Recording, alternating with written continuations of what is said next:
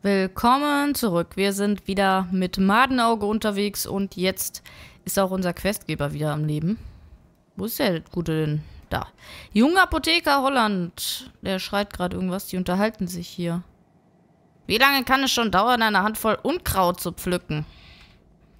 Na, wen brüllst du da an? Da ist doch gar keiner, hm? Und Geist von Devlin Ackermann schreit, sterbt ihr Narren! Okay. Hier ist ja was los. Was.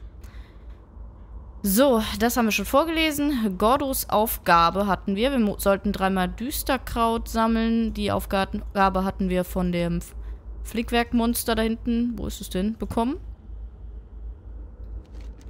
Was ist denn das? Düsterkraut? Ich brauche kein Düsterkraut. Diese hirnlose Fleischmasse pflückt da draußen Gänseblümchen und bringt Gott weiß wie viel Tölpel wie euch dazu, das Gleiche zu tun. Das sollte keine Beleidigung sein. Wir kümmern uns später um das Düsterkraut. Im Moment haben wir andere Dinge zu besprechen. Am Ende gehören sie alle mir. Hihihi, ganz viele Spieler sammeln Düsterkraut. Fürstin Silvanas hat sich an das königliche Apothekarium gewandt. Sie hat uns aufgefordert, eine neue Seuche zu erfinden. Eine Seuche, die tödlicher ist als jede Krankheit in Azeroth. Diese neue Krankheit wird den Untergang unserer Feinde gleich, ob lebendig oder tot, herbeiführen. Meine Studien haben ergeben, dass Tierblut der Schlüssel sein könnte. Hier, füllt diese Fiole mit Schattenhundblut, damit ich meine These testen kann. So, Herzschlag der Schattenhunde. Alles klar. Die Un Untoten sind immer noch dabei, ihre Seuche zu entwickeln und Silvanas hat sogar Interesse daran. Was ist? Todeswache Morris möchte Nachschub für Brill. Exekutor zögernd bat mich, eine Inventur unserer Rüstung hier in Brill durchzuführen. Da die Geißel und Schlimmeres in den Wäldern lauert, möchte er nicht, dass es den Todeswachen Ausrüstung fehlt, die sie brauchen.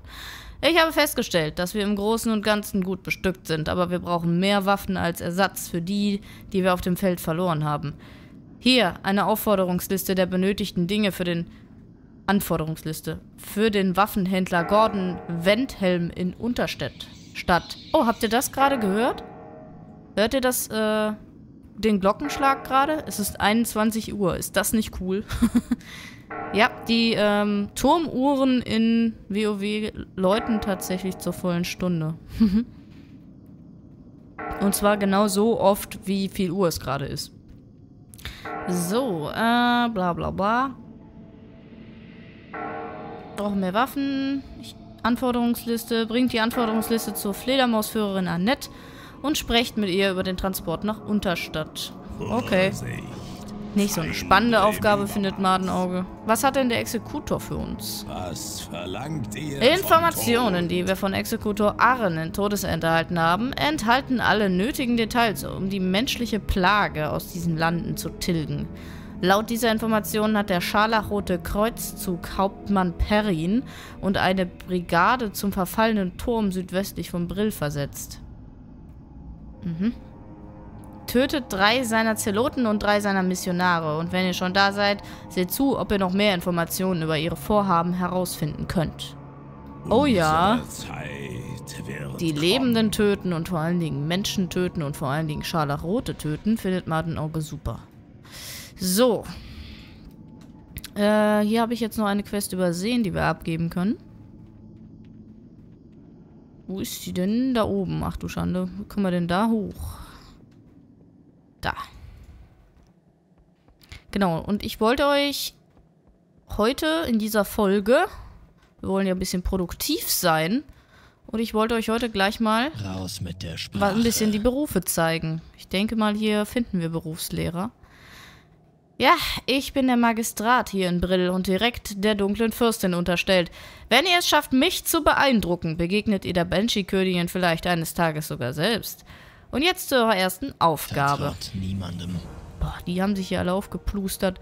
Ich brauche einen aktuellen Bericht von unserem Außenposten der Todeswache im Osten.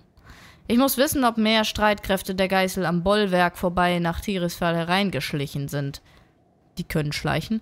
Unsere Wachsamkeit an der Grenze zu den Pestländern muss aufrechterhalten werden. Wir können die Geißel hier nicht stärker Fuß fassen lassen. Fassen lassen. Gassen passend.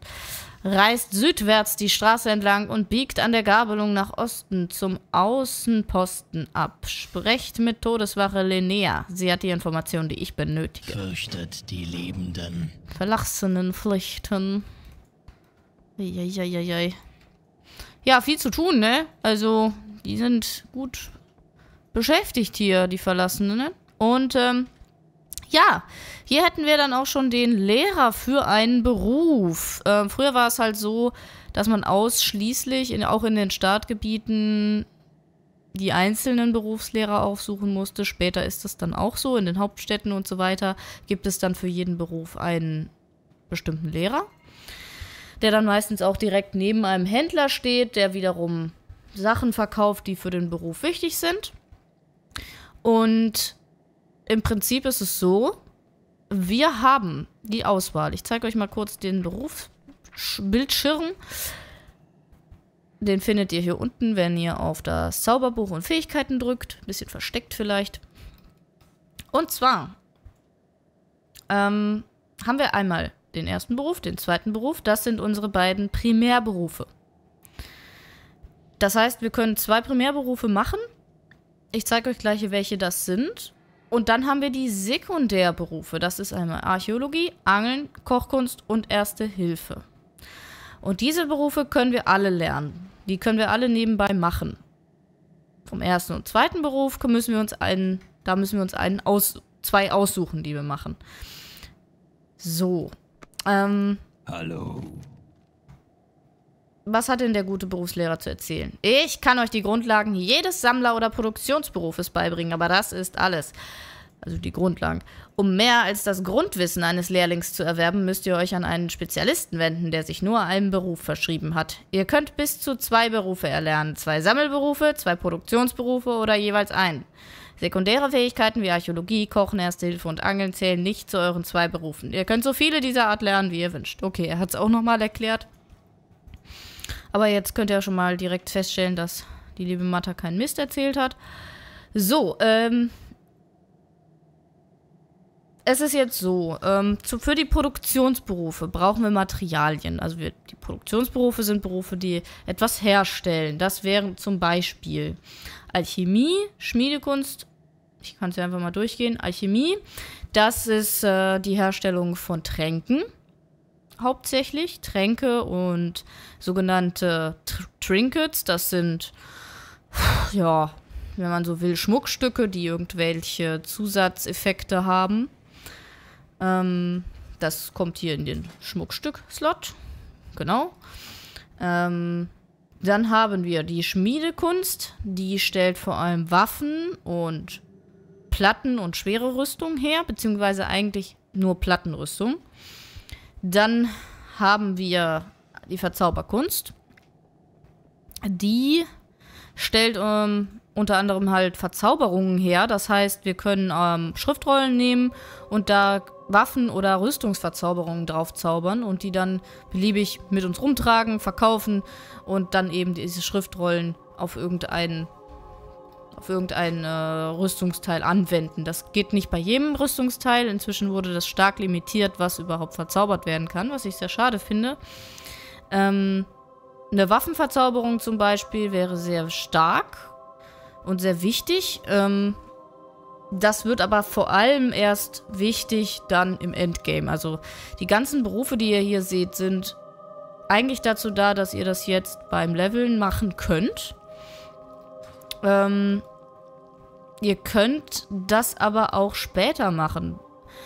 Weil die guten Blizzard-Entwickler, äh, die, die guten WoW-Entwickler Blizzard, die sagen sich halt, hey, wenn Leute neu anfangen, haben die das Problem, dass die halt ihre Berufe hochkriegen müssen und oder wollen. Und das hat halt teilweise, kann es ganz schön anstrengend sein, weil man eben diese Materialien braucht, die man dann bei den Sammelberufen bekommt.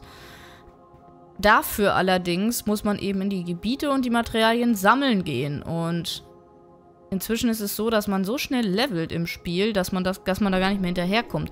Da hat sich Blizzard halt gedacht, hey, die Berufe hochkriegen ist irgendwie ganz schön anstrengend und gerade für neue Spieler oder auch für Spieler, die das zum hundertsten Mal machen, haben sie dann die Möglichkeit gegeben, dann im aktuellen Add-on hinzugehen und zu sagen, hey, ich möchte, äh, habe diesen Beruf gelernt und möchte den jetzt auf Maximum skillen und da gibt es dann eben die Möglichkeit, Rezepte zu lernen, die ein bisschen, ja, wo das ein bisschen schneller geht. Ich zeige euch das gleich, wenn wir einen Beruf lernen.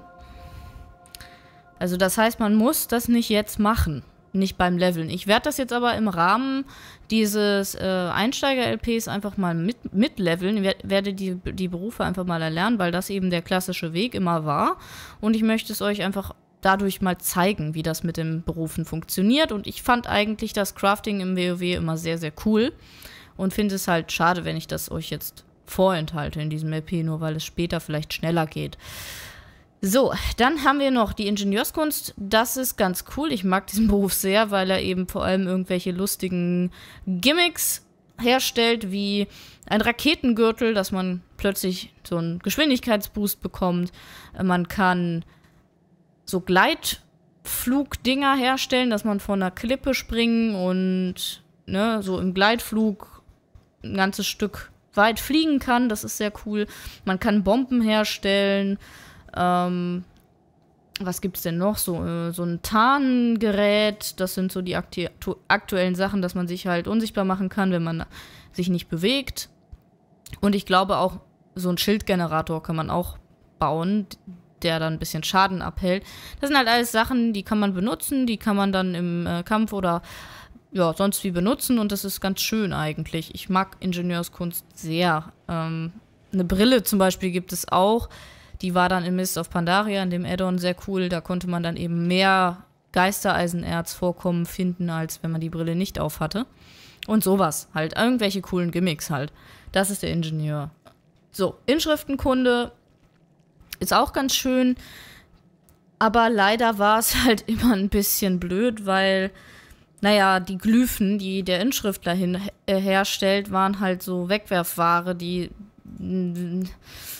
man halt eigentlich mit jedem Charakter wieder neu kaufen musste, aber auch nur einmalig. Und naja, das war halt ein bisschen blöd. Das mit den Glyphen zeige ich euch noch, wenn wir unsere erste Glyphe freigeschaltet, unseren ersten Glyphenplatz freigeschaltet kriegen. Jedenfalls merkt euch einfach, der Inschriftenkundler stellt Glyphen her und der braucht, so wie der Alchemist, für seine Sachen Kräuter. Während der Schmiedekünstler, wie ihr euch ja denken könnt, Erz braucht und der Verzauberkünstler muss, um seine Materialien zu bekommen, verzauberte Gegenstände entzaubern. Also irgendwelche grünen, blauen oder epischen Gegenstände entzaubern. Ja, äh, dann haben wir noch den Juwelier, der kann Gemmen, wie es so schön heißt, also Edelsteine schleifen, die man dann in äh, bestimmte Slots, in Ausrüstungsgegenstände stecken kann, die dann Bonus ähm, wie heißt es denn? Jetzt fällt mir das Wort nicht ein. Halt äh, Boni geben, also zum Beispiel Ausdauer, mehr Ausdauer oder mehr, mehr Intelligenz. Ähm, wie heißen die Dinger denn? Attribute, danke. Bonusattribute. Ähm, das ist auch ganz schön. Der kann auch Schmuckstücke herstellen, wie Halsketten und so weiter. Dann haben wir den Lederer, der stellt Leder- und Kettenrüstung her. Und dann haben wir den Schneider, der stellt vor allem Stoffrüstung her. Und dann haben wir die Sammelberufe. Ne, dann haben wir einmal Kirschnern, da kann man eben Leder von Tieren sammeln. Wir haben Bergbau, wir haben Kräuterkunde. Ne, und diese drei, Sach diese drei Sammelberufe versorgen einen dann sozusagen mit den Materialien, die man für die Produktionsberufe braucht. Und im klassischen Sinne würde man sich einen Produktionsberuf und einen äh, Sammelberuf aussuchen, damit man eben den Produktionsberuf sozusagen überhaupt ausüben kann, weil man ja als neuer Spieler vor allem nicht ins AH geht und also ins Auktionshaus geht und sich erstmal alle Materialien mal eben kauft. Das funktioniert so nicht. Aber es, wenn man ein bisschen länger spielt, macht man es häufig so, hm, dass man dann äh, zwei Primär, also zwei Produktionsberufe macht und dann vielleicht mit einem anderen Charakter die Sammelberufe oder auch gar keine, weil man genug Gold hat und die Sachen einfach kauft. So, ich war davon allerdings nie so ein Riesenfan, weil ich hatte nie so viel Gold, dass ich mir das wirklich leisten konnte. Allerdings ist mein Primärcharakter, mein äh, Main-Character, der hat tatsächlich zwei Produktionsberufe, Juwelierskunst und Schneiderei. So, wir werden uns jetzt mal für einen Beruf entscheiden, den der gute Madenauge ausüben wird. Und zwar möchte ich machen. Ähm, ich schwanke noch zwischen Alchemie und Kräuterkunde oder Verzauberkunst. Und was haben wir denn noch?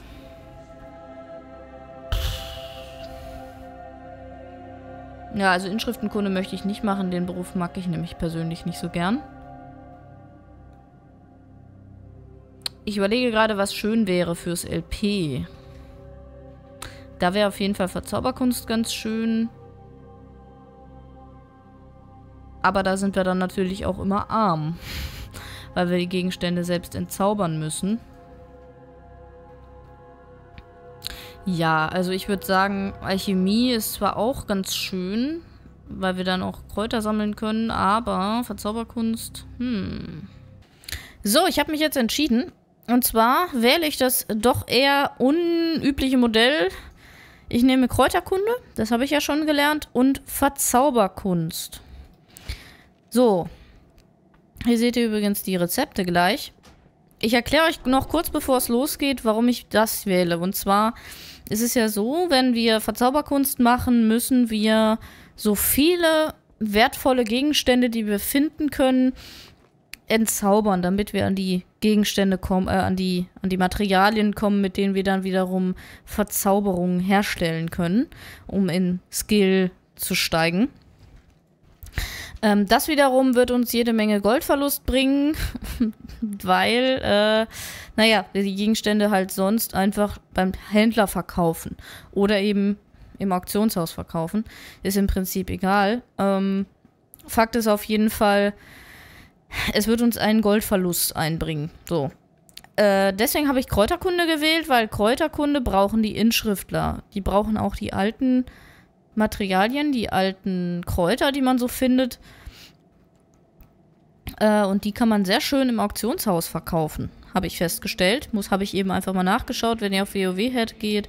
Das ist die so die beste WoW-Datenbank, die es so gibt. Und dort habe ich mir einfach mal ein paar Pflanzen angesehen und geschaut, wie, wie viel die so im Auktionshaus wert sind. Und ich bin mir sicher, dass wir unsere Unkosten damit decken können, dass wir dann einfach schön die Kräuter im Auktionshaus verkaufen. Ich hoffe, dass das so aufgeht, mein Plan. So, wir haben jetzt die beiden Primärberufe gelernt. Wir sind jetzt Kräuterkundler und Verzauberkünstler. Verzauberkunst ist halt eigentlich ein unabhängiger Beruf von irgendwelchen äh, Sammelberufen. Deswegen kann man den Zweitberuf halt frei wählen. Das haben wir gemacht. So, jetzt haben wir hier unsere Fähigkeiten. Verzauberkunst und Entzaubern. Wir ziehen die mal direkt in die Leiste. Kräuter sammeln ist im Prinzip, äh, brauchen wir nicht in der Leiste. Ähm, das können wir hier oben, das ist sehr wichtig, dass wir zum Kräutersammeln hier oben an der Minimap die Kräutersuche anschalten. Nur wenn wir die angeschaltet haben, können wir auf der Minimap in Form von kleinen gelben Punkten sehen, wo die Kräuter überhaupt sind auf der Karte. Das heißt, ohne dieses Kräutersuche anzuschalten, können wir sehr, sehr lange suchen, weil äh, kein Mensch kann diese Kräuter sehen von selbst, ohne auf die Minimap zu schauen, behaupte ich jetzt einfach mal. So. Alles klar. Das haben wir schon mal angestellt. Jetzt, jetzt dürften wir keine Kräuter mehr übersehen. Erster Beruf schon mal nebenbei erledigt. Zweiter Beruf ist jetzt die Verzauberkunst. Wir öffnen einfach mal das Verzauberkunstfenster und hier sehen wir, was wir bereits können. Hier oben ist unsere Erfahrungsleiste für den Beruf. Die müssen wir natürlich füllen. Wir kriegen pro, pro äh, Sache, die wir herstellen oder entzaubern im Moment noch einen Punkt. Das Entzaubern wird später, glaube ich, keine ähm, Erfahrung mehr geben. Skillpunkte heißt es ja. So, wir können jetzt schwaches Ausweichen und schwache Gesundheit auf Armschienen zaubern. Dafür brauchen wir eine geringe Magieessenz und einmal seltsamer Staub. So, ähm, ich würde sagen, wir warten jetzt einfach mal ab, bis wir unseren ersten grünen Gegenstand haben und dann erkläre ich euch, wie es läuft. Weil das so zu zeigen, ist ein bisschen blöd. Was ihr allerdings seht, ist benötigt runenverzierte Kupferrute. Das war damals immer sehr lustig, weil man die nämlich sich von einem Schmied herstellen lassen musste. Inzwischen können wir uns die hier einfach Was beim jetzt? Händler kaufen. Beziehungsweise, das ist die Kupferrute. Die musste halt der Schmiede einem herstellen. Die kaufen wir jetzt einfach. Und soweit ich das Vertraut weiß, können wir die jetzt niemandem. Runen verzieren. Das können wir allerdings auch erst machen, wenn wir die Materialien dafür haben. Aber wir haben sie schon mal und die müssen wir auch aufheben, weil sonst können wir nämlich nicht verzaubern. Das ist bei jedem anderen Beruf auch so. Irgendwas braucht man immer, ne? Ich hab genau Ob das ein Schmiedehammer was ist. Ob das, keine Ahnung, was haben wir denn noch? Schwacher Fluxus braucht man zum Beispiel zum Einschmelzen von Erz ähm, und so weiter und so fort. Kristallfiolen braucht man zum Brauen von Tränken und so weiter. Der Juwelier braucht Ju ein Juwelierset. Oh, sie hat sogar Rezepte hier. Fledermausflügel. Kochen, yay! Das können wir auch nebenbei machen. Bring mir mal Kochen bei, Junge. Ach nee, der kann nur Primärberufe oder was? Das ist ja jetzt doof. Hätte ich jetzt ja nicht gedacht. Leb wohl. Haben wir denn noch einen, der uns auch Kochen und so beibringen kann? Oder? Hm, sieht nicht Was so aus. ist? Schade. Seid auf der Hut. Und da müssen wir dann gleich mal suchen gehen, wo wir den finden. So, alles klar. Alles vorbereitet für die Berufe. Oh, hier ist der Hexenmeisterlehrer. Können wir inzwischen mit dir reden? Oder? Ach, wir sind gar kein Hexer, wir sind ja Magier. Ups. Äh, Ich bin verwirrt. Schurkenlehrer, Gemischtwaren, Lederrüstungshändler. Leider kein Magierlehrer gerade da. Aber ich vermute auch, dass wir erst ab Level 10 mit dem sprechen können. Gut. Dann wollen wir mal hoffen, dass wir demnächst unser erstes Item finden, das verzaubert ist. So, das hat jetzt ein bisschen gedauert, das alles zu erklären, aber ich dachte mir, ich mache das mal lieber, bevor wir einfach irgendwas lernen. Korn und Futter. Hier ist doch der Kochlehrer. Hallo, ich möchte Was gerne ist? alles lernen, damit ich es den Leuten zeigen kann. Wir sind jetzt Koch und wir können jetzt schon mal unser erstes Rezept lernen. Gewürzbrot. Auch dieses, äh, auch diesen Beruf könnten wir theoretisch später schneller und effizienter hochleveln. Ich Die möchte das jetzt mit euch einfach mal auf die herkömmliche. Art machen, weil erstens, weil ich es lange nicht gemacht habe und zweitens, weil es einfach schön zu zeigen ist. So, jetzt haben wir schon Kochen gelernt. Wir können eine Kochfeuerstelle herstellen. Können wir einfach hier so ein schönes Lagerfeuer hinbauen. Und dann können wir da dran kochen. Ne, ziehen wir auch mal in die Leiste. Zack. Das heißt, wir müssen nicht immer zu einer Kochstelle laufen. So, was brauchen wir denn für das Gewürzbrot? Brot. Brocken Eberfleisch. Guck mal, verkohltes Wolfsfleisch können wir schon herstellen. Wir haben einmal sehniges Wolfsfleisch. Zack. Und schon hat sich unsere Kochkunstfertigkeit auf 2 erhöht. Und das verkohlte Wolfsfleisch gibt uns ein bisschen, Esse, äh, bisschen Leben wieder, aber das brauchen wir eigentlich nicht. Wie gesagt, die Lebensregeneration ist inzwischen im Spiel einfach so hoch, dass das kaum noch was bringt. Kochen ist später interessant für Buff Food, dann im Raid oder wenn man eben auch im PvP vorher schön äh, sich Buff Food reinzieht, dann äh, kann man eben seine Werte ein bisschen erhöhen und ist dann stärker. So, das hier ist der. Gastwirt von Brill. Wir sind jetzt ja in der ersten etwas größeren Stadt und da macht es Sinn, mal den Ruhestein hier hinzusetzen. Und zwar machen wir das über, ich möchte dieses Gasthaus zu meinem Heimatort Die machen. dunkle Fürstin schütze Jawohl, wir möchten das tun und jetzt sind wir hier zu Hause und sobald wir unseren Ruhestein benutzen, sind wir wieder hier in Brill bei der Gastwirtin. Was benötigt ihr? So. Bei der können wir uns auch äh, mit Essen und Trinken eindecken. Das ist aber, wie gesagt, nicht nötig. Ich könnte das jetzt, äh, jetzt natürlich so tun, als wäre es nötig, aber das finde ich ein bisschen albern. Vielmehr werden wir uns bei ihr noch ein bisschen was, Was verkaufen. So. Und zwar alles, was wir jetzt so haben. Ich meine, den, den Heiltrank können wir ja mal aufheben, zur Not. Denn ich darf nicht vergessen, dass wir trotzdem noch Vertraut niemandem. keine Erbstücke tragen und das heißt, wir sind durchaus sterblich. so, was haben wir denn hier noch?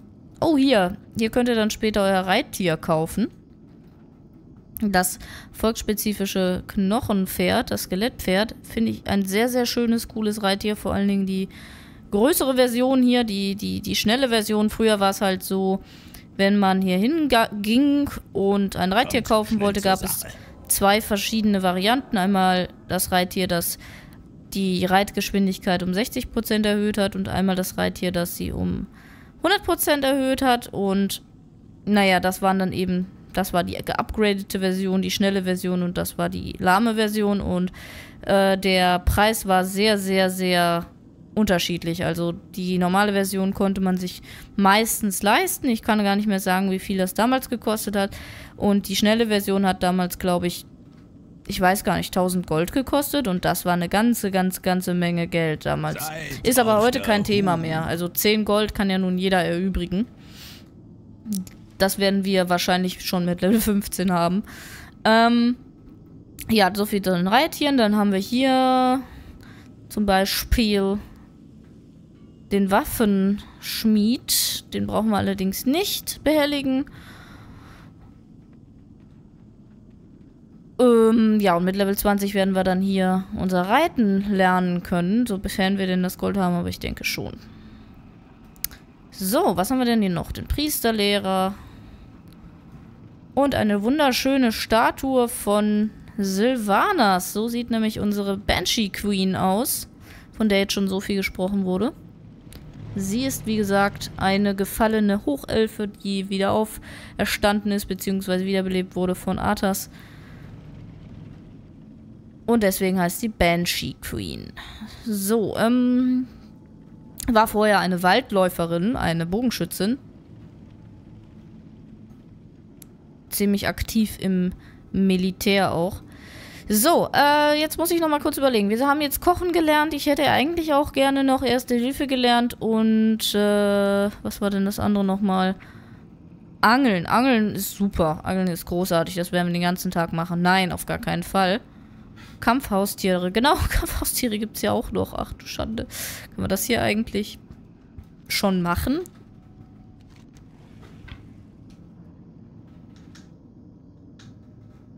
Ich gucke gerade. Kakerlake von Unterstadt. Na, herzlichen Glückwunsch. Nee, ähm.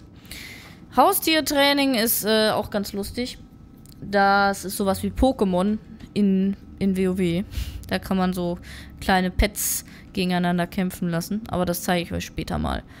So. Ja, dann äh, war's das erstmal. Ich sehe nämlich hier ne, gerade keinen anderen Berufslehrer. Schade. Ich hätte nämlich gern noch Erste Hilfe gelernt. Stimmt, sehe ich das nur nicht. Wir können übrigens hier auf der Karte, falls wir irgendwas suchen, äh, das einblenden. Lehrer für einen Beruf. So, dann sehen wir nämlich auf einen Blick alle Lehrer, die sich hier so rumtreiben. Hier um die Ecke ist halt noch der Reitlehrer, deswegen wird er so angezeigt. Die Mani- Min- Minimap. Die Minimap können wir noch ein bisschen größer machen, wenn es hilft. Und hier ist angeblich auch noch ein Berufslehrer. Vielleicht habe ich die doch nur übersehen. Hier vielleicht. Guck doch mal. Du bist Pilzbauer. Nee, danke. Da, Lehrerin für Erste Hilfe. Dich habe ich gesucht. Zack. Haben wir auch Erste Seid Hilfe mitgenommen. Und dann nehmen wir auch noch... Nee, Kräuterkunde haben wir schon gelernt. Ich bin ganz Bei der können wir dann nämlich auch, ähm, das ist nämlich so eine Expertin, bei der können wir dann auch die höheren Stufen lernen. Sobald wir nämlich 75 Skill Points haben, müssen wir ganz dringend zum Lehrer, weil sonst geht's nicht weiter mit dem Lernen. Sucht nicht den Tod. Und sonst können wir nämlich die tollen Kräuter gar nicht mehr, ab, mehr farmen. So, äh, jetzt haben wir eigentlich alles soweit. Jetzt haben wir noch hier den tollen Erste-Hilfe-Beruf. Den ziehen wir auch mal hier noch rein.